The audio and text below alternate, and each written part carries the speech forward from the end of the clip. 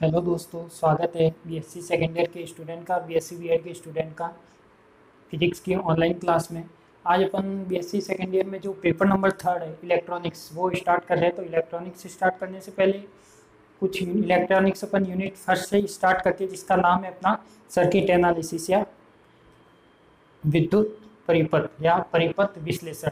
तो अपन जो यूनिट फ़र्स्ट है यूनिट फ़र्स्ट क्या है अपने पास? सर्किट एनालिसिस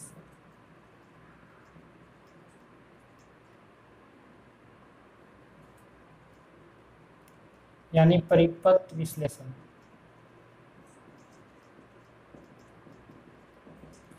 तो सर्किट एनालिसिस की इलेक्ट्रॉनिक्स पेपर आपका थर्ड रहेगा। वैसे हो सकता है अदर यूनिवर्सिटी में पेपर थर्ड ना होकर फ़र्स्ट सेकंड भी हो सकता है, पर राजस्थान यूनिवर्सिटी में क्या पेपर थर्ड है?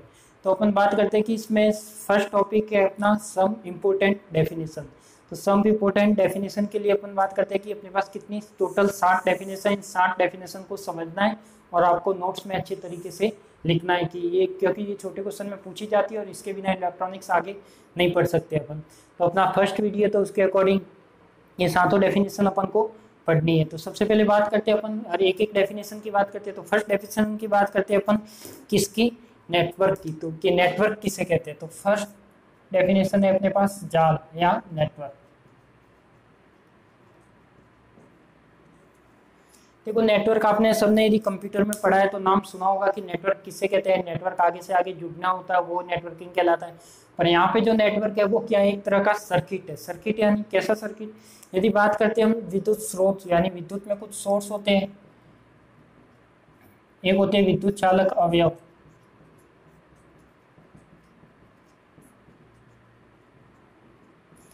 तो जब विद्युत सोर्स की बात करें तो सोर्स में तो क्या रहता है? अपने पास कोई भी बैटरी या सेल रहता है तो वो तो जाएगा अपने पास बैटरी या सेल और जब अवयव की बात करते हैं तो अवयव में क्या क्या रह सकता है? प्रतिरोध रह सकता है। जिसको अपन क्या बोलते हैं? रजिस्टर. संधारित्र रह सकता है। जिसको क्या बोलते हैं अपन? कैपेसिटर. प्रेरकत्व रह सकता है इंडक्टर और क्या रह सकता है? डायोड रह सकता है। डी ट्रांजिस्टर रह सकता है। टी तो ये क्या है? अपने पास कुछ तो रहते हैं, अपने पास स्रोत, यानी जो बैटरी और सेल है, यानी सोर्स का मीनिंग क्या कोई भी सर्किट में कोई अपन सोर्स लगाते इसका मतलब क्या हुआ? वो सर्किट क्या करेगा? वर्कआउट करेगा। वर्कआउट करेगा, यानी उसमें कुछ ना कुछ करंट फ्लो होगी। करंट फ्लो कहाँ से होगी? सोर्स के द्वारा ही तो होगी। तो यही अपना क्या कहलाएगा? सोर्स कहलाएगा बैटरी या सेल। अब फिर अपन बात करते हैं, इसमें दो बड़े एक है, चालक और कुचालक। चालक किसे कहते हैं? यानी वह वस्तु या वह उपकरण या वह इंस्ट्रूमेंट जिसमें से क्या हो धारा आसानी से प्रवाहित होती है, वो क्या कहलाता है अपना? चालक कहलाता है। यदि धारा आसानी से प्रवाहित नहीं होती, उसे क्या कहते हैं अपन? कुचालक कहते हैं। यदि यहाँ पे चालक अवयव की बात करें तो चालक अवयव अपन ने पढ़ रखे रजिस्टर पढ़ रखा है, प्रतिरोध कैपेसिटर, संधारित्र, इंडक्टर, प्रेरकत्व, डायोड और ट्रांजिस्टर। इंग्लिश में भी इन्हें यही बोलते हैं। तो इसको रजिस्टर बोलते हैं, इसको कैपेसिटर, इंडक्टर, डायोड और ट्रांजिस्टर। यदि इसके मैं संकेत की बात करूँ तो ये तो क्या अपना प्रतिरोध होता है? यदि संधारित्र की बात करें तो ये संधारित्र होता है। यदि ये एल की बात करें तो ये कुंडली होती है।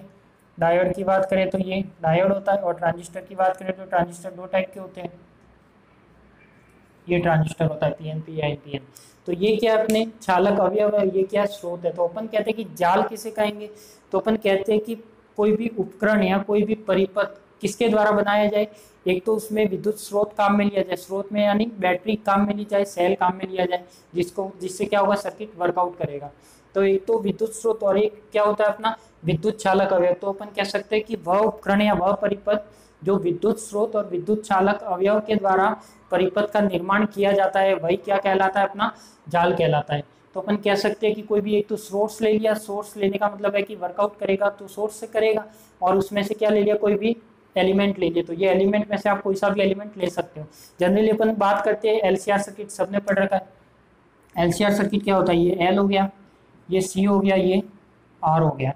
यहाँ पे क्या लग गई अपनी? प्लस माइनस की बैटरी लग गई। तो ये अपने क्या कहलाता है? एल सी और आर जो आप ट्वेल्थ में पढ़ के आए नॉर्मल सा सर्किट था एल सी आर तो यहाँ पे एल हो गया सी हो गया आर हो गया। तो ये अपना क्या कहलाएगा? एक नेटवर्क कहलाएगा। नेटवर्क या फिर क्या कहलाएगा अपना? जाल कहलाएगा। ज़्यादातर इंग्लिश में टर्म ज़्यादा इजी रहती है, वो ज़्यादा यूज़ रखना। तो ये हो जाएगा अपने पास एल सी है तो एल सी आर तो अपन कह सकते हैं कि नेटवर्क किसे कहते हैं? तो विद्युत स्रोत, यानी विद्युत स्रोत, यानी कोई सेल या बैटरी और विद्युत चालक अवयव, जिसमें विद्युत चालक अवयव में इनमें से कोई सा भी आप काम में ले सकते हो। तो अपन ने क्या एल काम में लिया सी काम में लिया आर काम में लिया। तो एल सी आर ये क्या आपने कह सकते हैं, ये एक तरह से क्या काम क्या करते हैं? ये धारा को नियंत्रित करते हैं या फिर क्या करते हैं? धारा में रुकावट डालते हैं। तो ये एक तरह से क्या अपनी प्रतिबाधा या इम्पीडेंस है। तो ये अपन कह सकते हैं कि ये एक तरह से इम्पीडेंस है। तो यहाँ पे ये ऐसा परिपथ जो विद्युत स्रोत और विद्युत चालक अवयव से बना हुआ हो, वह क्या कहलाता है अपना? जाल कहलाता है।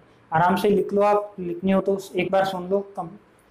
वह परिपथ या वह उपकरण जो विद्युत स्रोत या विद्युत चालक अवयव से मिलकर बना हुआ हो, वह क्या कहलाता है अपना? जाल कहलाता है। अब अपन बात करते हैं कि जाल भी दो प्रकार के होते हैं। यदि जाल के प्रकार की बात करें तो जाल दो प्रकार के मानते हैं अपन। एक तो होता है सक्रिय और एक होता है निष्क्रिय। एक तो होता है एक्टिव, दूसरा होता है पैसिव। ये जाल के प्रकार है तो ये तो हो जाएगा अपना सक्रिय, ये हो जाएगा निष्क्रिय। अब इन दोनों में क्या डिफरेंस आएगा? सक्रिय और निष्क्रिय। नेटवर्क को मैंने क्या किया? एक तो एक्टिव नेटवर्क में बांट लिया, एक पैसिव नेटवर्क में बांट लिया। एक्टिव में क्या होगा अपने पास? एक्टिव यानी मैं इसी सर्किट को बनाऊँ तो ये सर्किट रहेगा अपने पास, ये एल ये सी ये आर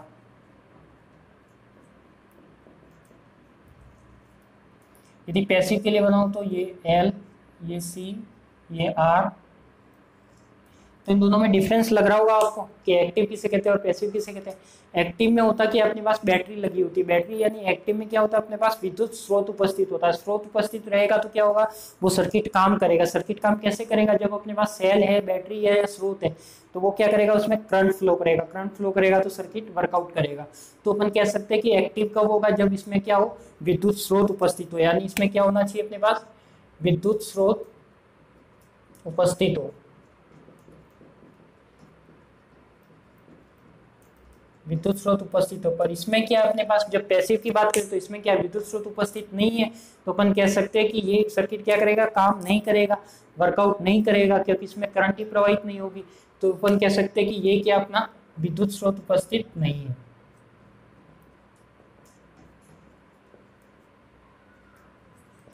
तो अपन कह सकते हैं कि जाल किसे कहते हैं? विद्युत स्रोत या विद्युत चालक अवयव से बना हुआ परिपथ क्या कहलाता है? जाल कहलाता है। परिपथ भी कैसा होना चाहिए? बंद होना चाहिए, यानी क्लोज होना चाहिए। और इस जाल को मैंने क्या किया? दो भागों में बांट दिया, एक तो एक्टिव में, दूसरा पैसिव में। तो सक्रिय के लिए बात करें तो विद्युत स्रोत उपस्थित होता है, वह सक्रिय कहलाएगा। विद्युत स्रोत उपस्थित नहीं होता, वो कौन सा कहलाएगा? निष्क्रिय कहलाएगा या पैसिव कहलाएगा। तो ये आपकी जाल की डेफिनेशन थी। दूसरी डेफिनेशन की बात करते हैं तो ये जाल तो आपको अच्छे से समझ में आ गया होगा। इससे और इससे मिलकर कोई भी बना हुआ सर्किट होता है, वो क्या कहलाता है? जाल कहलाता है। जाल दो प्रकार के होते हैं, एक तो एक्टिव होता है, एक पैसिव होता है, एक सक्रिय होता है, एक निष्क्रिय होता है। सक्रिय के लिए ये डायग्राम सक्रिय में वह परिपथ या वह उपकरण जिसमें विद्युत स्रोत उपस्थित होता है, या वह परिपथ जिसमें विद्युत स्रोत उपस्थित होता है। सक्रिय जाल कहलाता है, निष्क्रिय जाल। वह परिपथ जिसमें विद्युत स्रोत उपस्थित नहीं होता, निष्क्रिय जाल कहलाता है। बात करते हैं अपन दूसरी डेफिनेशन की। जो है विद्युत स्रोत।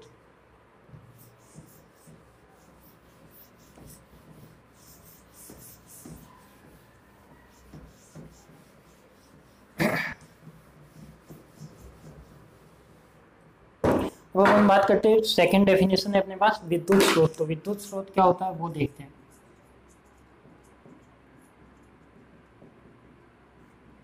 विद्युत स्रोत यानी विद्युत स्रोत क्या होता है? अपने पास कोई भी सर्किट है कोई भी सर्किट में अपना क्या लग रहा है? कोई सेल या बैटरी लग रही है। तो अपन कह सकते हैं कि वो सेल या बैटरी क्या कर रही है? उस सर्किट को वर्कआउट करा रही है। यानी अपन कह सकते हैं कि उस सर्किट को क्या हो रही है? कुछ इलेक्ट्रिक एनर्जी मिल रही है। जब इलेक्ट्रिक एनर्जी मिली जब इलेक्ट्रिक एनर्जी किससे मिलती है? करंट से मिलेगी। जब इलेक्ट्रिक एनर्जी मिलती है, यानी अपन कह सकते हैं कि विद्युत स्रोत किससे कहते हैं? वह उपकरण या वह परिपथ जिसमें किसी बैटरी या सेल द्वारा परिपथ को विद्युत ऊर्जा प्रदान की जाए। विद्युत ऊर्जा यानी इलेक्ट्रिक एनर्जी यानी कोई सर्किट है, उसमें अपन ने क्या किया? कोई बैटरी या सेल लगा दी। जैसे अपन एल सर्किट बनाया था वैसे ही। तो इसमें क्या किया अपन ने कुछ बैटरी या सेल लगा दी तो उससे क्या होगा, वो सर्किट वर्कआउट करेगा, जिससे क्या होगा, उसको सर्किट को इलेक्ट्रिक एनर्जी मिलेगी। तो अपन कह सकते हैं कि वो क्या कहलाएगा? विद्युत स्रोत कहलाएगा। तो अपन कह सकते हैं कि वह परिपथ या वह उपकरण जिसमें किसी बैटरी या सेल द्वारा किसी परिपथ को विद्युत ऊर्जा प्रदान की जाए तो वह क्या कहलाता है? विद्युत स्रोत कहलाता है। अब अपन बात करते हैं कि विद्युत स्रोत भी दो प्रकार के होते हैं। विद्युत स्रोत पता लग गया होगा। कि क्या विद्युत स्रोत किसे कहते हैं? परिपथ को विद्युत ऊर्जा प्रदान करना। किसके द्वारा? सेल या बैटरी के द्वारा। तो वो क्या कहलाएगा? विद्युत स्रोत कहलाएगा। अब मैं बात, विद्युत स्रोत भी दो टाइप के होते हैं अपने पास। एक तो होता है अपने पास, यदि बात करते हैं विद्युत स्रोत के प्रकारों के तो विद्युत स्रोत दो प्रकार के होते हैं। एक तो होता है धारा स्रोत एक होता है, वोल्टता स्रोत।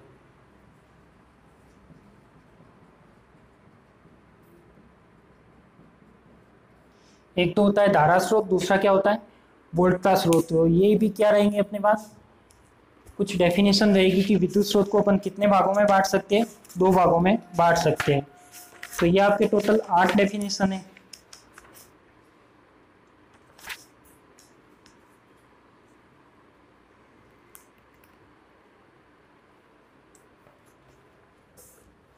तो इसमें क्या अपने पास टोटल आठ डेफिनेशन है? तो एक तो रहेगा धारा स्रोत, दूसरा रहेगा बोलता स्रोत। अब अपन बात करते हैं, आपने दो वर्ड सुने होंगे, एक तो रहता है अपने पास आंतरिक प्रतिरोध।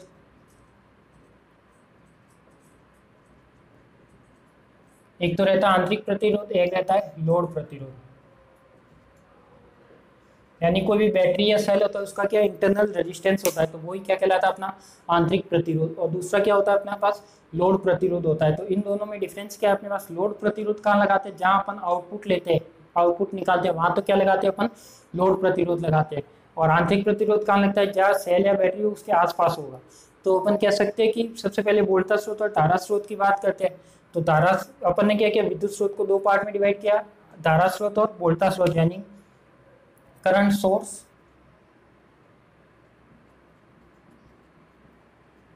दूसरा क्या हो गया? वोल्टेज सोर्स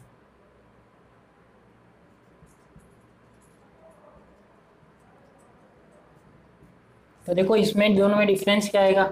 तो देखते हैं कि सबसे पहले जब धारा स्रोत की बात करते हैं, धारा स्रोत यानी जो इसमें आंतरिक प्रतिरोध होगा, आंतरिक प्रतिरोध किस, आप दो कॉम्बिनेशन जानते हो तो श्रेणी क्रम होता है, एक समांतर क्रम होता है, एक सीरीज़ होता है, एक पैरेलल होता है। तो अपन बात करते हैं समांतर क्रम और श्रेणी क्रम की। तो अपन जब इसकी बात करते हैं तो धारा स्रोत में अपन मानते हैं कि ये वाला क्या लगा दिया मैंने?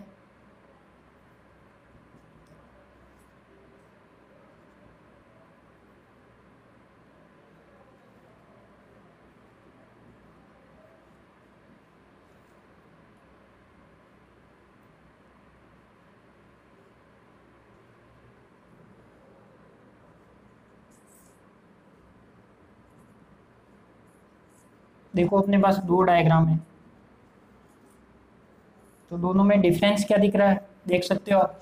तो दोनों में डिफरेंस ये दिख रहा है कि एक तो क्या है अपने पास? जो जेड इन लग रहा है वो कैसा लग रहा है? समांतर क्रम में, यानी पैरेलल कॉम्बिनेशन में लग रहा है। एक जेड इन लग रहा है वो कैसा लग रहा है? जेड एल के रेस्पेक्ट में। सीरीज़ कॉम्बिनेशन में लग रहा है। तो दोनों में डिफरेंस ये रहेगा कि जब धारा स्रोत की बात करें तो धारा स्रोत में क्या रहेगा? वह उपकरण या वह परिपथ जिसमें आंतरिक प्रतिरोध, लोड प्रतिरोध के साथ यदि समांतर क्रम में लगा हुआ है तो वह क्या कहलाता है? धारा स्रोत कहलाता है। यदि वोल्टा स्रोत की बात करें तो वह परिपथ या वह उपकरण जिसमें आंतरिक प्रतिरोध, लोड प्रतिरोध के साथ यदि श्रेणी क्रम में लगा हुआ है तो वो क्या कहलाएगा? वोल्टा स्रोत कहलाएगा। अच्छे से समझना। विद्युत स्रोत परिपथ को विद्युत ऊर्जा प्रदान की जाती है, बैटरी या सेल द्वारा, वो क्या कहलाता है? विद्युत स्रोत कहलाता है। विद्युत स्रोत को दो पार्ट में डिवाइड किया, धारा स्रोत और वोल्टा स्रोत। तो वोल्टा स्रोत किसे कहेंगे?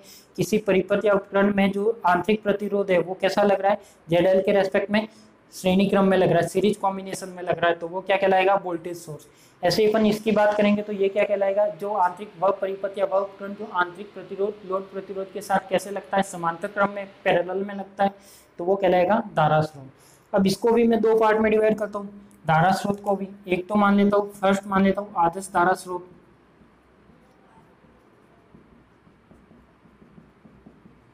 दूसरा मान लेता हूँ, वास्तविक धारा स्रोत।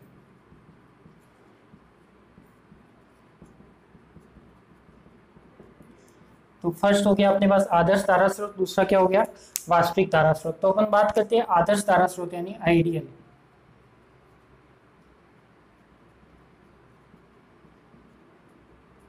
ये क्या होगा? रियल